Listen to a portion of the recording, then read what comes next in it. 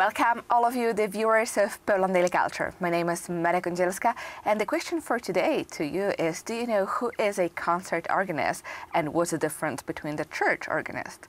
We will answer this because with us in the studio is Anna Przybysz, a musician and a concert organist. Again, thank you very much for coming. Thank you for having me. And uh, well, you have a very unique discipline. You're, of course, a musician, but uh, playing on organs is altogether uh, something rare, but you are also a woman doing it. Yes. so additionally difficult. So first of all, tell us a little bit what's well, who is the concert organist, and how did you choose this vocation? So usually at the universities you've got two possibilities to study organ. So one is instrumental department and the second one is church music department. So after instrumental department you can play organ as a concert organist. So you are able to play concerts. During church music studies you are learning how to conducting choirs, how to sing chants for example, uh, how to improvise, uh, make an improvisation during the services at the churches. So it's quite different way of playing organ, not only uh, organ pieces, but uh, organ as a um, church musician. So it's completely different way. It's I think it's harder to study church music department. So you then already a church like person studying this is well, the fate is determined. They are going to play in churches. Yes, yes, for sure, yes.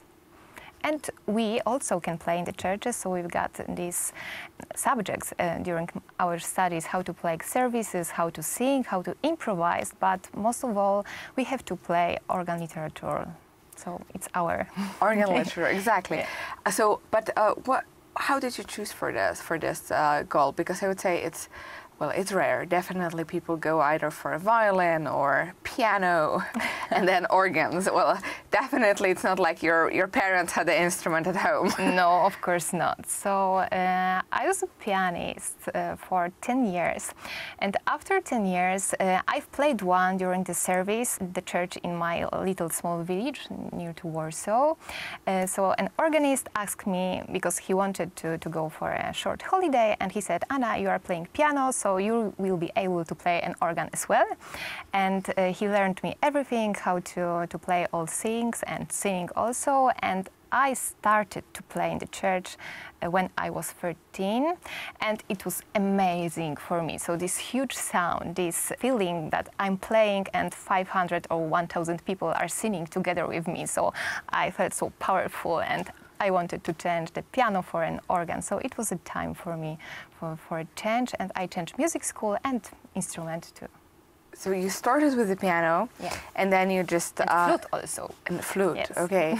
And then this kind of.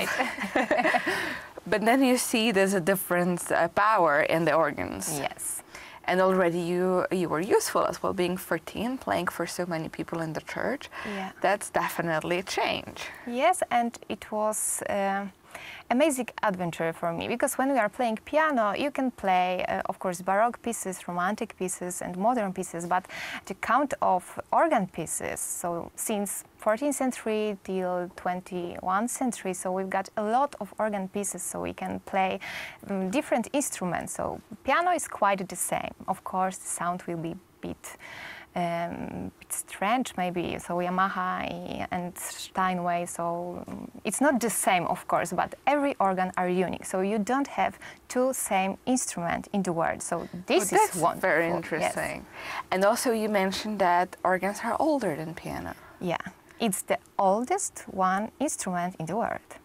Wow. And the biggest one, and the most remarkable. okay. but uh, so tell us a little bit about all, all, the like the organs himself, the instrument. How many keys do you have? Uh, what the, what are the pipes? What's going on there? Okay, so it's really difficult to say um, about organ in very short time because this history is very long and it depends on the time when the organ was built. So uh, in Baroque time uh, we had a mechanical action, sound and keyboard action and it does mean that when you press the key it's very hard to play organ. Uh, in Romantic time we had pneumatic and electropneumatic action so it was lighter to play but um, the time, the acoustic like what bit longer because you press the key and you have to wait a few seconds and then you can hear the sound from the church or uh, or concert hall. So it's a bit harder to play on pneumatic organ. And nowadays we've got electronic uh, action, so you press and you hear at the same time, and it's very light. but uh, about uh, how many key we've got, so it depends on how uh, much money do you have, because it's really. Um, it costs really much money, like millions so uh, if you've got enough money, you can build the biggest one organ is in Atlanta, and they've got seven keyboards for hands and one uh, for for legs because this is the most difficult thing on playing organ. We use our both legs to playing organ. Oh wow! So you basically have to. It's like a sport doing yes, it. Yes, extreme sport, I could say.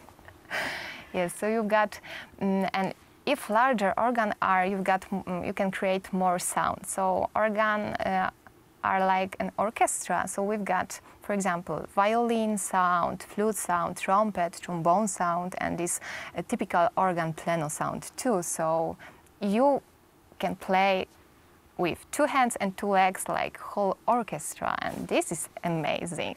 Wow i was i didn't notice. Yeah. So that's that's so, so really fabulous but also challenging. Yeah. And we'll talk more about all of those challenges in the next episode. And to all of you the viewers of Poland Daily well if you will have a chance then squeeze into a place and see uh, how the organs look like and uh, if you want to learn more secrets about organ playing, then stay with us for another episode. And thank you for watching Poland Daily Culture.